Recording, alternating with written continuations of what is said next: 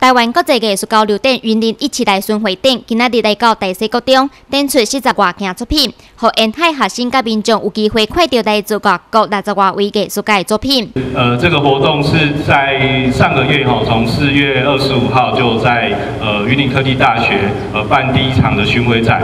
那接下来哈，在我们文化处也办了第二场的巡回展哦。所以其实我们在座的同学们哦，其实欣赏到的作品哦，都是跟我们。在云科大或者是在文化处吼，都是一样的作品哦。这两年在我们的校园里面有非常非常多的这一个呃艺术画作陈列在我们的校园里面。那无非就是要让各位同学多一点艺术的涵养，让我们在治愈的学习之外，还有一些兴趣可以让各位同学了解。啊进而在这方面多一点学习。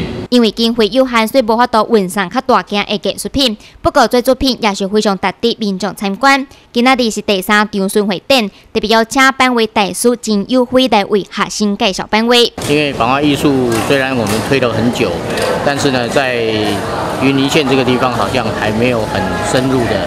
让大家了解，我希望就是说，从最基本的什么叫做版画，其实它是跟生活非常有相关的。那我只是把版画艺术跟我们的生活一起把它连接起来，让小朋友能了解说，他在日常的生活当中有很多的印刷品都是由版画艺术来推展开来的。我们让他能够连接起来，让他不会那么陌生，将来也可以利用版画艺术。